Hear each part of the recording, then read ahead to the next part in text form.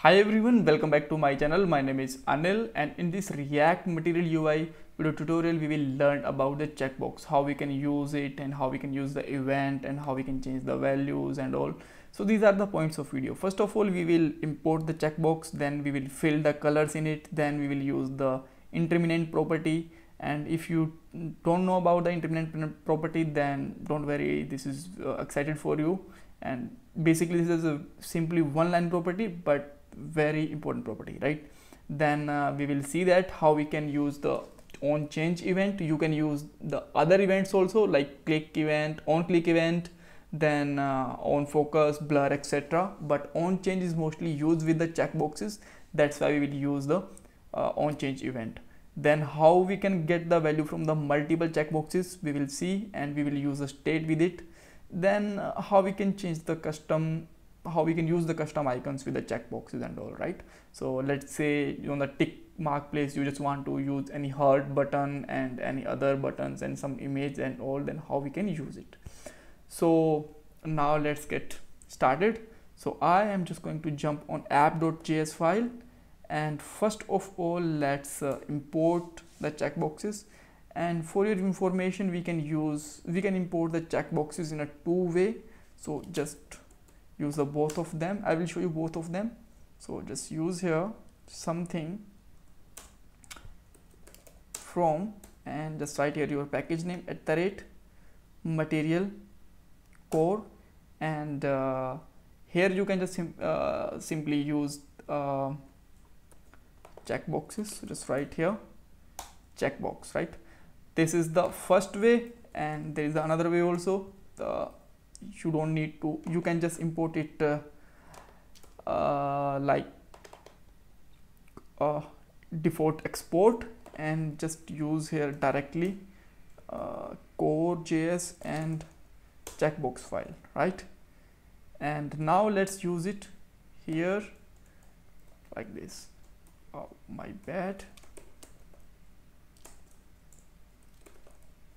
Checkbox. And for default level this is very easy to use. You can see that we got the checkbox here. We can uncheck and check it and it just have the very uh, faded animation and it's look very nice right? You can see that it. And now let's see that how we can update the color of it. So here you can use the color property and you can use any color like uh, you just want to use the default color then you will get it uh, default layout of it and even you can use it the secondary also. So just simply use the secondary one. Then you will just get it the pink right? You can use the prime also primary also. And you will get here blue color now. Perfect. That's great.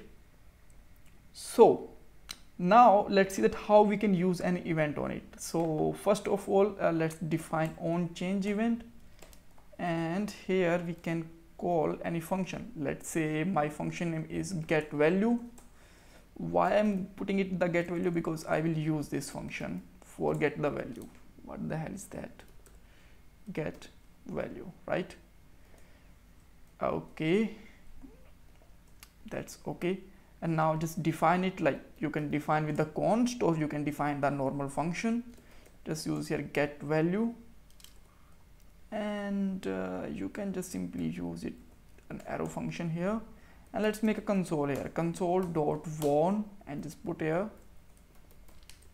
function called right?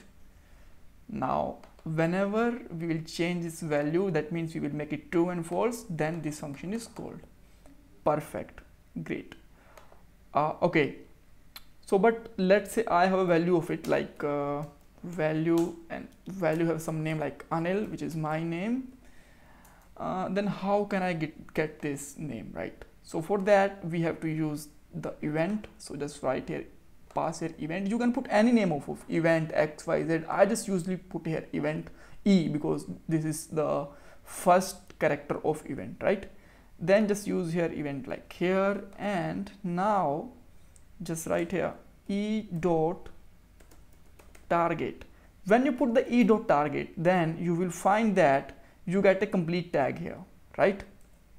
Yep and uh, you can see that it, uh, it will just show the data indeterminate also which is the internal property of it. We cannot see this property direct, directly right? And uh, then put here value. And if you just put the value here then you will able to get this value. You can see that we got the value anil. That's great. Right so that's okay. We got the value of first one. So let's say we have uh, some more checkboxes like multiple checkboxes how we can get the value of them? Let's say peter and bruce and all right. Now what actually happened? When you just click on the latest one you will get only the latest value in your uh, this console because there is a this function is called every time. That's why the old value is erased and next value is come how we can store the previous value also then we can use the use state. So just simply take const destruct the state like uh, name as well as set name right? And just use here use effect or use state. And default value can be a blank array. Perfect. Now let's take this state in a normal variable like data like this. And now just push here use here data dot push. And what do you have to push here? E dot target dot value right? Why we did not push this value directly in the name? Because name is basically a state and we should not uh, update this state like this. We always update this state with of with the help of set name right and uh, after that you can just simply uh, use here set name and just simply put here data right? And uh, if you just want to check here name then that's okay. You can also print here. Uh, okay um, let me check what's wrong with it. Yeah that's my bad I actually used this uh, um, state outside to the function which is pretty not possible. So now this is like this. So now just you can see that we got the value here like this right? So that's all that how we can just get the multiple values here. And uh, yes one more thing uh, how we can just put here uh, indeterminate property we actually forgot to use it. So so we can just take uh, one more checkbox here. Let's make it copy and paste and just write here any property like xyz and just put here indeterminate right? And whenever whenever you, you will use it then you can see that uh, it will have a normal dash as compared to the other like they have the checkbox completely with a tick and it don't have any tick right? And now let's say you just want to change the complete icon that how you can do it. So let's make it one more. And for that we need the icons also. So just write here import something from material checkboxes and uh, favorite right and just put here favorite.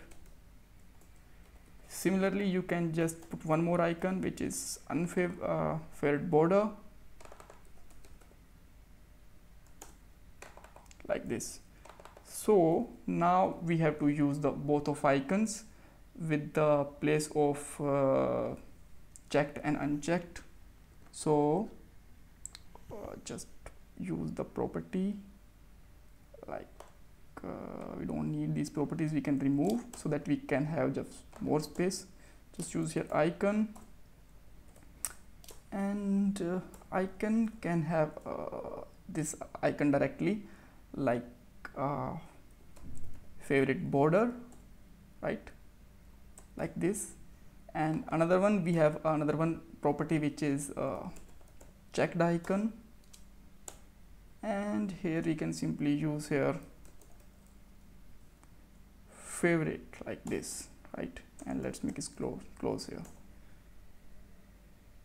So now you can see that we are able to use the normal icon. So that this is the way that how we can use uh, uh, different icon and how we can use the how we can get the value of the multiple checkboxes and all. If you still have any kind of confusion you can ask me in the comment box. Don't forget to subscribe my channel and like this video